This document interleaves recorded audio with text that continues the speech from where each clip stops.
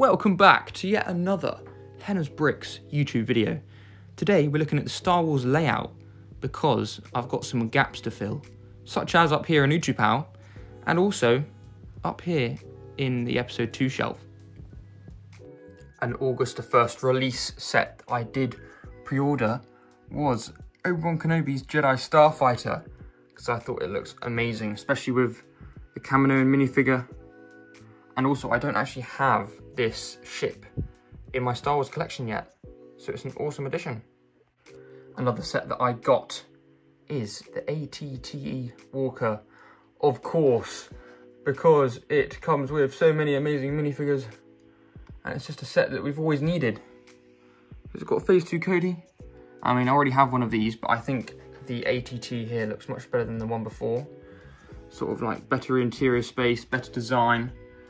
I went over this all in a previous video. As you can see, all of the all of the 212 clone troopers there. And it's an amazing set, so I can't miss out on this. So I ordered the set and I've been waiting a while now. I decided to look underneath the table. Is that Obi-Wan Kenobi's Jedi Starfighter? No way! I'm gonna have to grab that out right now. Wow, I didn't realize this arrived. It's it's amazing. Anyway, it comes with three minifigures, R4, P17, Obi-Wan Kenobi and Tom. And on the back of the box, you can see some more features. Very cool. Now time for a closer look at the ship itself. I think the design looks really nice and sleek. I mean, there is a bit of a gap between the main body and the wing, but that doesn't really matter. And you've got the satellite dish that you can put on the side and take off when it's flying. And also there's a storage space in the middle, so you can put the droid's body in there when it's not needed on the outside. And then you can also pop back on so it's quite useful to have that area so it keeps the sleekness of the design on the wing. Also the set obviously comes with Obi-Wan Kenobi. So he's got the pilot face and also the visible confusion face um, with the hood. And it looks really awesome minifigure. We also have Taun We, the Kaminoan. So new head mold with the long neck. Love the detailing on this. And looks really awesome. I mean, the neck could be longer, but for Lego, it's great. So some features included in Obi-Wan Kenobi Starfighter are that the cockpit opens up. You can see nice detailing there. I like the seat. I think it looks really nice. Also space for his lightsaber and another thing underneath. And the landing gear can fold up, so it looks very sleek when it's flying. And also you can, not probably not meant to, but you can lift off the stud shooters to make it look better. But I think I'll leave mine on there because it looks good. So that is Obi-Wan Kenobi Starfighter. I would definitely recommend the set. Minifigures are awesome, and it's not actually too expensive for what you're getting. And I know it's available everywhere, so I would definitely recommend it. And it's a really great set. Now you already know what's coming next. It's the AT-TE. Yes. Yes. Let's have a look. Here is a closer look at the box. So you can see the awesome AT-TE there and the range of minifigures Commander Cody, uh, 212 Clone Trooper, and another 212 Clone Trooper, and another 212 Clone Trooper, and a 212 Clone Gunner, and three battle droids.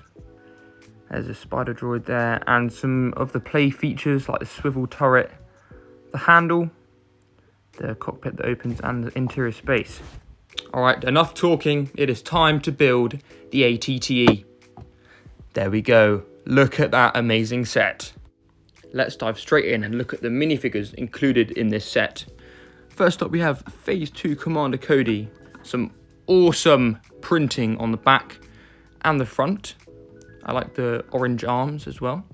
And as you can see, the visor lifts up, but it looks much better when it's down, obviously. And he also has his custom face print. And here is the 212 Legion Trooper.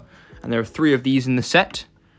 Um, there's only one problem, which is that the point of the orange doesn't come down to a, like a tip on the helmet, but as you can see, ordinary face. And if you actually look closer, you can see they've now added the holes to every single Phase 2 Clone Trooper. And I just think it looks a bit bulky, but here's a comparison, and it looks way better on the old one.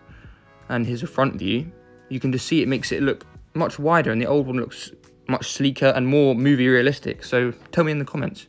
Which one do you prefer, the new one or the old one? And here is the clone gunner. I'm I'm happy with the printing. It makes me excited for a possibility of new style, um, just normal Phase 2 Clone Troopers. And here's a small comparison to the old version, and I think I do prefer the old version, unfortunately. Now it's time for a quick look at the set itself. This AT-TE looks really amazing. You can see the swivel turret at the top. Also, you can lift the front part out to reveal the cockpit seat and the controls, just like in the last one. And it's a nice feature. And if you swivel the set around, you can see at the back, it's a much sleeker de design than it was before in previous sets. And it all flows much more. And it opens up in a different way.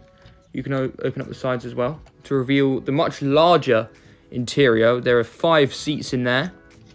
If I just lift it up, there are some controls, um, some weapon racks, and I really like that. And it's quite easy to put back together as well. And it looks really sleek, and it's just really well designed.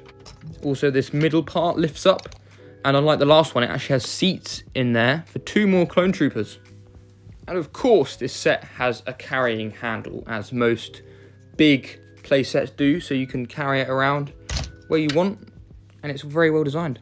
You know, I still think that I can improve this set, and one way is, well, dealing with this spider droid, because in Utapau you don't get spider droids, you get crab droids, so that's why I need to get rid of this, and I've made my own custom crab droid, which looks incredible. I mean, it's got the posable legs, it's got guns on the bottom, as you can see there, and it's just it fits in so much better with the set. There's color differentiation. It's actually like it's how it's meant to be in the film, and I don't know why Lego didn't do that in the first place. So yeah, but overall, I'm very happy with this set, and I'll definitely recommend it. Obviously, it's not out in North America yet, and it's out of stock in the UK. But if you have the chance to get your hands on it, it's a definite buy. So thank you very much for watching my small review on both these sets, and I'm very happy with them great additions to my collection. And yes, I know the Lego City is a mess. I have packets, plans, pens, everywhere. But maybe I'll have another uh, city update coming soon. I don't know. Might want to make some changes in the future. Tidy up a little bit. But otherwise, that's all for today. Bye.